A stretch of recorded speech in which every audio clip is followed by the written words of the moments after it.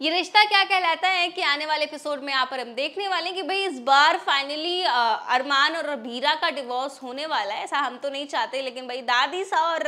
फूफा सा स्पेशली और विद्या चाहते कि जल्द से जल्द दोनों का डिवोर्स हो जाए। वही हम देखते हैं कि भाई दादी सा जो है, अरमान और अबीरा दोनों को दही खिला रही होती है, उनका मुँह मीठा करती ताकि आज सब कुछ अच्छे से हो जाए, इन दोनों का डिवोर्स हो जाए। इसी बीच आगे हम देखते हैं कि भाई अरमान और अबीरा दोनों मिलकर निकल जाते हैं कोर्ट के लिए, जहाँ पर उन्हें गवाही देनी होती है और इस बार अरमान ने तो ठान लिया कि वो सच्ची गवाही देगा और यहाँ पर अभीरा भी बिल्कुल ऐसा झूठ नहीं कहना चाहती। लेकिन कहानी में एक बड़ा ट्विस्ट देखने को मिलता है, जहाँ पर हम देखेंगे, भाई यहाँ पर अरमान तो कह देगा कि मुझे इस डिवोर्स पेपर्स में से एक क्लॉस हटाने कि हमारी शादी जो है वो बिल्कुल भी ज़बरदस्ती नहीं हुई थी। हमारी शादी हाँ एक दूसरे की रजामंदी से ही हुई थी। लेकिन भाई यहाँ पर अभीरा जो है वो जज साहब से कहते कि, भाई हम दोनों की शादी जो है वो ज़बरदस्ती हुई थी। हम दोनों की मंजूरी बिल्कुल भी नहीं थी इस शादी में। और ये बात सुनकर अरमान जो है काफ़ी ज़्यादा शौक में आ जाता है और बहुत गुस्से में भी आ जाता है और अभीरा से काफ़ी ज़्यादा सवाल जवाब भी करने लगता है और इसी कोर्ट के बीच और यहाँ पर, अभीरा पर, यहाँ पर अरमान को भरोसा ही नहीं होता कि उसने कैसे हमारी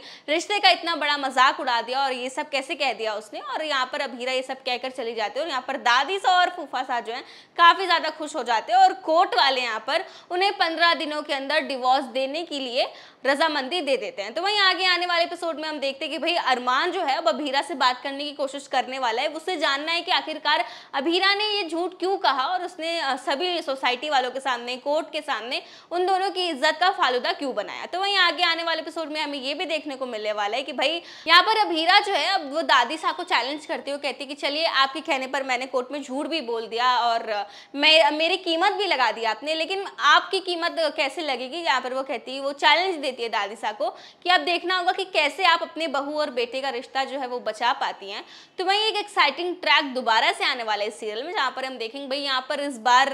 रूही मैडम जो है, वो विद्या को सारी सच्चाई बता देती है। जी हाँ वो बताती है कि रोहित से शादी से पहले अरमान और रूही एक दूसरे से प्यार करते थे और इस बात को लेकर विद्या यहाँ पर काफ़ी टेंशन में आती है और यहाँ पर उसने एक बहुत बड़ा डिसीज़न लिया है। जी हाँ यहाँ पर हम देखने वाले कि भाई